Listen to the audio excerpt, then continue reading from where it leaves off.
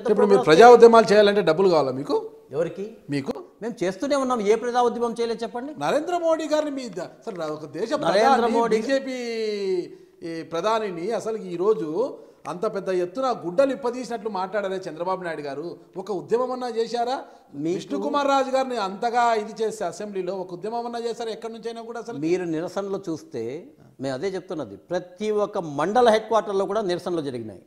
కానీ ఆ నిరసనలకు మాకు మీడియాలో మాణిక్యాలరావు ఎక్కడుండేవాడు అసలుకి? మా మద్దతు లేకపోతే మాణిక్యాలరావు గెలిచేవాడే కాదు. అని పబ్లిక్లో టీడీపీ వాళ్ళు ఏదన్నా మా- మాణిక్యాలరావు గారు మొత్తం నిరసన దీక్షలో కూర్చున్నారు. మీడియాలో ఎంత స్పేస్ వచ్చిందండి?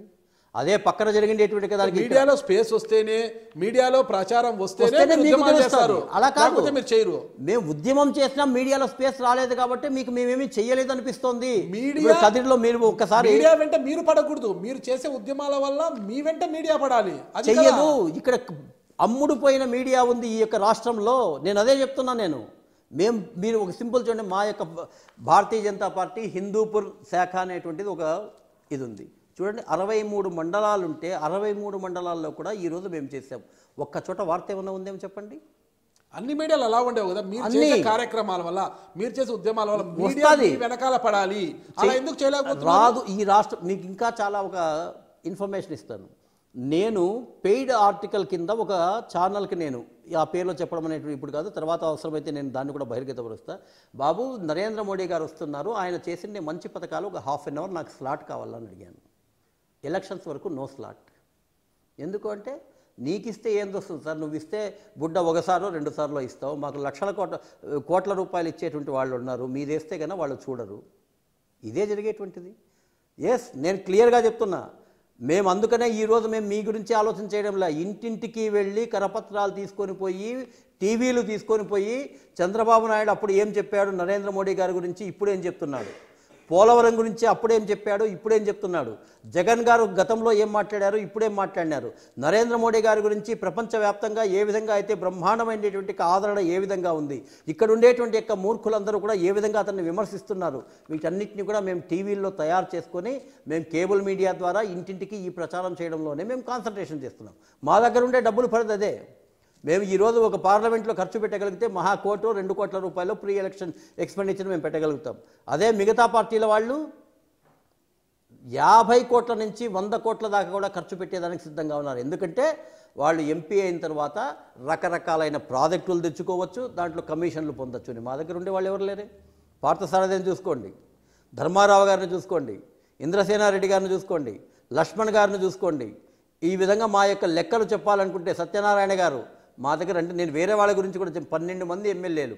మీసం మెలేసి అవినీతి లేకుండా మా వ్యాపారాల మీద అభివృద్ధి పడడం తప్ప దోపిడీలో లేవని చెప్పేసి ఈరోజు ఛాలెంజ్ చేసి చెప్పగలుగుతాం. మీరు ఆ మీ ఆ యొక్క కాన్స్టిట్యున్సీలోకి వెళ్ళి మీరు అడగండి. మా దగ్గర లేవు డబ్బులు. ఉన్నంతలోనే మేము ఖర్చు పెడతాం. ఇది యొక్క దీని కారణంగా ఉంది తప్ప వేరేదైతే ఏమీ కాదు. ఇంకోటి ఏముందంటే ఇక్కడ చంద్రబాబు నాయుడు గారికి ఒక దుష్టమైనటువంటి ఆలోచన ఉంది. ఇప్పుడే కాదు. నేను రెండు వేల పంతొమ్మిది వందల తొంభై తొమ్మిదిలో ఎన్నికల్లో గెలిచాను. దానికి ముందు ప్రతి ఒక్క నియోజకవర్గానికి ఎమ్మెల్యేకి యాభై లక్షల రూపాయలు నిధులు ఇచ్చారు. ఎలక్షన్స్కి ముందు ఈసారి రెండు కోట్ల రూపాయలు ఇస్తామన్నారు ఎమ్మెల్యేగా అయిన తర్వాత.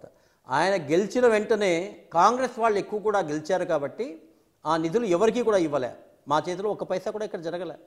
కాంగ్రెస్ వాళ్ళకి ఎక్కువ నిధులు వస్తే కన్నా వాళ్ళకి ఇక్కడ మంచి పేరు వస్తుందో అని చెప్పి ఒక మినిస్టర్ని ఇన్ఛార్జ్ మినిస్టర్ అని చెప్పేసి మా ఇండ్లు వాళ్ళ ఇండ్లు కాంట్రాక్టులు అన్నీ కూడా ఆయన పేరుతో తీసుకొని కమిషన్లంతా వాళ్ళు తీసుకునేటువంటి ఎక్కడ నీచమైన వ్యవస్థ అయింది. ఈరోజు భారతీయ జనతా పార్టీ వచ్చిన తర్వాత ఏ రాష్ట్రంలో ఎవరున్నా కూడా ఏ విధంగా నిధులు ఇస్తుందో ఇక్కడ జరుగుతోందా అది? ఈరోజు వైఎస్ఆర్సీపీ వాళ్ళు ఎవరైనా గెలిస్తే వాడిని ఏ విధంగా కొనుక్కోవాలని చూసుకొని అంగడిలో వస్తువులాగా ఒక ఇక బజార్లో ఒక గాడిదలాగా కొనుక్కున్నారు. అట్లా కొనుక్కున్నారు తప్ప అంతకు మించి వాడిని ఏం చేయలేదు. దానికి ఎంత డబ్బులు ఇచ్చినాడో ఏమి ఇచ్చినాడో ప్రజలకు తెలుసు వాళ్ళకి తెలుసు. అట్లా కొనుక్కునేటువంటి వ్యక్తులు తప్ప ఉండేటువంటి ఎమ్మెల్యేస్కు ఎమ్మెల్యేస్కి నువ్వు నిధులు ఇచ్చావా? అక్కడ నీకు ఒక సూపర్ పవర్ కింద ఇంకొకరిని పెడతావు. నియోజకవర్గం ఇంక ఇన్ఛార్జ్. ఇది ప్రజాస్వామ్య వ్యవస్థలో ఉండేటువంటిదా? అదే పని మేము చేసి ఉండింటే? నీకెందుకు ఈ రాష్ట్రానికి డబ్బులు ఇవ్వాలా? ఎందుకంటే మాకు ఫుల్ మెజారిటీ ఉంది. నీ ఉన్నా లేకపోయినా కూడా జరుగుతుంది. మేము ఎందుకు ఇస్తున్నాం రాష్ట్రాలకి? మేము ప్రజల కోసం ఉన్నాం. నీవు నీ స్వార్థపరమైనటువంటి కాంట్రాక్టుల కోసం నీ కుటుంబం కోసం నీ కార్యకర్త నీ యొక్క నాయకుల కోసం ఉన్నావు తప్ప ఇంకెవరికి కాదు. ఎస్ వాళ్ళ దగ్గర డబ్బులు ప్రమాణంగా ఉన్నాయి. నా దృష్టిలో ఒక్కొక్క కాన్స్టిట్యున్సీకి చంద్రబాబు నాయుడు ఇరవై నుంచి ముప్పై కోట్ల రూపాయలు వాళ్ళ మనుషుల్ని పెట్టి ఖర్చు పెడతాడనేటువంటిది యావత్తు ప్రజల్లో కూడా ఈరోజు ఉంది.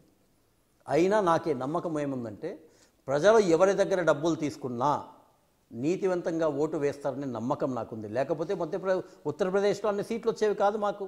కాంగ్రెస్ పార్టీ విపరీతంగా ఖర్చు పెట్టింది. ములాయం మా ఇక అఖిలేష్ యాదవ్ విపరీతంగా ఖర్చు పెట్టాడు. అక్కడ మేము చూస్తే ముస్లిమ్స్ ఎక్కువగా ఉండేటువంటి ప్రదేశాల్లో అది ఎట్లాగో గెలవం మేము అనుకున్నటువంటి ప్రదేశాల్లో ఇరవై ఇరవై ఐదు లక్షలు ఖర్చు పెట్టిండేటువంటి మా ఎమ్మెల్యేస్ కూడా అక్కడ గెలిచారు. ఇదైతే ప్రాక్టికల్. ఎవరినైనా సరే ఎంక్వైరీ చేసుకోమనండి. ఇది ఎందుకు జరుగుతుందంటే ప్రజల్లో ఎంత ఇచ్చినా ఈరోజు నిన్న పసుపు కుంకుమ ఇచ్చినప్పుడు నేను ఒక చోట ఉన్నా మా పక్కనే ఒక స్టోర్ ఉంది. నాకు మాటలన్నీ వినపడతాయి. నేను స్నానం చేస్తుంటే పక్కన స్టోర్ దగ్గర అందరూ ఉన్నారు. ఈ పసుపు కుంకుమ ఈ రోజు ఇచ్చినాడా? ఎప్పుడో మాకు అప్పట్లో ప్రకటించినాడు. ఆ జన్మభూమికి దీంట్లో ఎలక్షన్స్కి ముందంతా కూడా మాకు మొత్తం రుణమాఫీ చేస్తానని ఆ డబ్బులు ఆ రోజు ఇవ్వలే. ఆయన ఇవ్వడానికి మేము బ్యాంకులో కట్టలే. బ్యాంకులో అప్పులు పెరిగిపోయినాయి. మన ఆస్తులు తాకట్టు పెట్టి జప్తు చేస్తామంటే కూడా మేమంతా కూడా డబ్బులంతా అప్పుడు చందాలు వేసుకొని కట్టుకున్నాం. ఆ డబ్బులు ఇప్పుడు ఇస్తా ఉన్నాడు. అది కూడా మూడు చెక్కుల్లాగా ఇస్తా స్నానం చేస్తారా? వింటాంటారా? ఖచ్చితంగా పక్కనే ఉండేటువంటిది కాబట్టి స్టోర్ నేను వింటున్నాను. స్నానం చేసేంత వరకు అవునన్నా కాదన్నా కూడా నాకు ఆ మాటలు వినబడుతూనే ఉంటాయి. నా ఇంటి పక్కలోనే స్టోర్ ఉంది. బాత్రూంలో అంటే నేను- చేయకోకుండా మీరు అంటే రోజు రెండు మూడు సార్లు స్నానం చేస్తారా? ఇంకా ఏమైనా కొత్త విషయాలు వినిపిస్తాయి లేదు నేను ఒక్కసారే చూ- చూశాను. చెక్కులు తీసుకొని ఉదయం వాళ్ళు ఎనిమిదిన్నర గంటలకు అక్కడికి వచ్చినప్పుడు మాత్రమే నేను విన్నాను నేను. ఇట్ ఇస్ ప్రాక్టికల్ మీరు కూడా మీరు ఒక ప్రైవేట్ పర్సన్గా ఒక వ్యక్తుల దగ్గరికి వెళ్ళండి. For more videos, subscribe to iDream. and loads of fun entertainment and content, do watch iDreams. Do subscribe iDream Media. దయచేసి ఐ డ్రీమ్స్ మీరు సబ్స్క్రైబ్ చేయాల్సిందిగా నేను కోరుతున్నాను. I'm doctor Nayak D T Nayak for more videos please subscribe to I dream please subscribe I dream news please subscribe I dream please subscribe I dreams మీరు చూస్తున్నారు I dream news